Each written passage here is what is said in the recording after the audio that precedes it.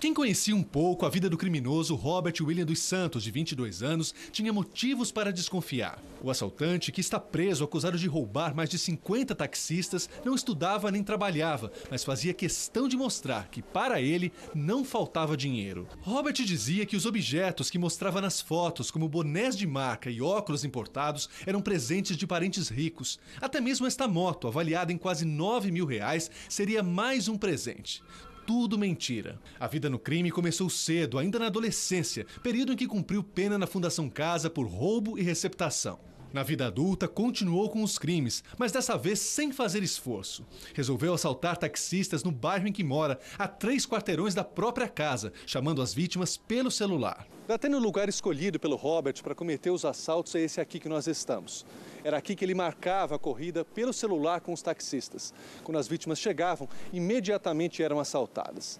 Este lugar não foi escolhido à toa, não. A rua não tem câmeras de segurança e termina, olha só, vamos pedir para o Edson Joana mostrar para a gente, numa grande escadaria.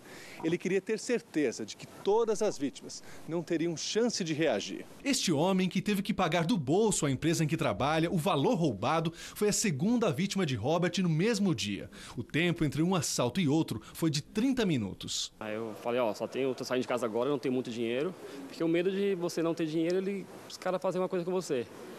Entendeu? Aí deu um pouquinho de dinheiro que eu tinha no bolso, aí dei a aliança que ele pediu e dei o celular. Aí ele saiu e entrou essa viela, né? Como ele faz com todos os taxistas. Este outro taxista, que também tem medo de mostrar o rosto, não consegue esquecer o que aconteceu. Na hora que eu fui arrancar com o carro, ele perguntou se eu era polícia. Eu falei que não, aí ele falou, ó, perdeu, assalto, encosta um pouco ali na frente, ele levanta os vidros.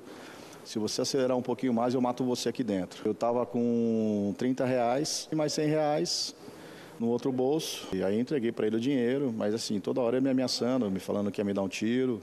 Durante os assaltos, o criminoso costumava virar os espelhos dos táxis para não ser reconhecido e dizia que se a vítima reagisse, morreria na hora. A polícia espera identificar e prender o comparsa de Robert, que agia com ele no mesmo local, e deve ouvir outros motoristas nos próximos dias.